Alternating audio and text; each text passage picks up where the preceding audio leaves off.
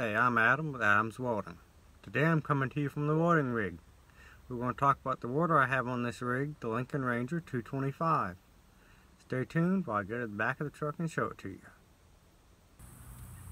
Here's my Lincoln Ranger 225. It's an engine-driven welder capable of producing up to 225 amps and is a MIG, TIG, and stick welder all combined into one. It has three tap settings for your amperage and a continuous uh, adjustment knob for your fine control. It has four 120 amp receptacles and one 240 amp receptacle that will be powered by the generator on the water. The generator produces 9,000 continuous watts with 10,500 peak watts. The fuel capacity is listed on the side of the water and has a 12 gallon fuel tank on top of the water. you have this hatch to be able to access your air cleaner.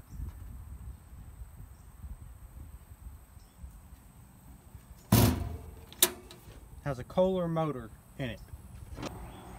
You have a hatch on the right side of the water to access your oil drain and your oil filter along with your fuel filter. Now I'm going to show you how to set up the welding leads on this welder. Okay, now I've got my uh, welding leads out. One is a ground clamp that I have on the right side and on the left side is your stinger lead. The stinger lead I have set up as a quick connect style and the ground clamp I use just a standard uh, stud and a nut. I'll show you how to set that up now. The stud and nut side, we have got to take this nut off which usually you have to use a wrench.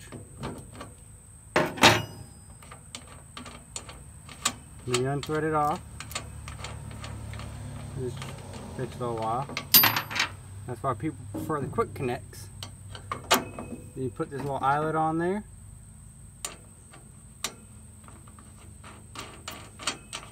You tighten this nut back down.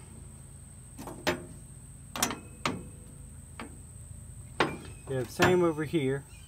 On the positive side, which will have this quick connect little dogtail on here. So you take and you see how this has this stud here. This here has a little bar down in there that this notch engages into when you turn it. So you stick that in there. You just twist quarter turn.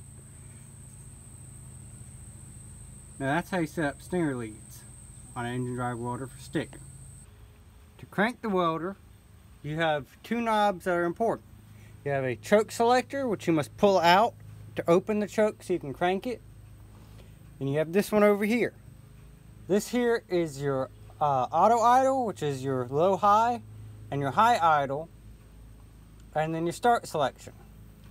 When you turn it to low idle, that there would be your engine's running and it'll idle down to a set RPM and it'll idle up from there when you need more current. High idle is always constant, which is used for gouging or when you're having difficulty striking a rod at low idle. And then you have your start selection. The way you crank this is you turn it all the way to start till it cranks, then you depress your choke after 30 seconds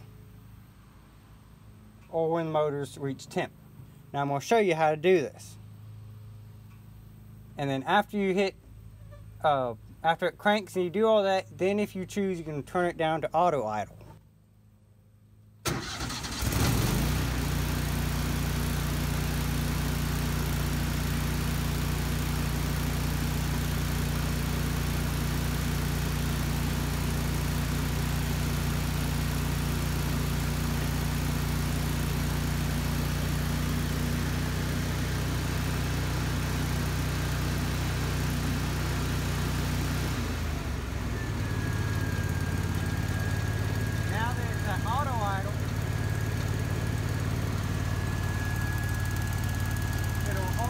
up when you crank it on.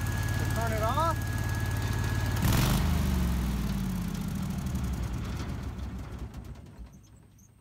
you just turn it to the off position. Now that's all for how to crank up and run an engine drive water. Now Lincoln Ranger 225 or Miller Bobcat 225 is as small as I'd go for your own business. Anything smaller is going to be too small to really do what you want to do.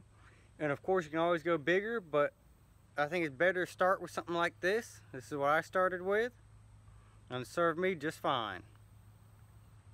Now next I've got a couple small jobs lined up that I'll show y'all some video and some stuff on what I do on those and I'll be posting in the next couple weeks so I'll show you all that then until next time keep on welding folks if you like this video like comment and subscribe and click that little bell icon so you can get an update from all our future content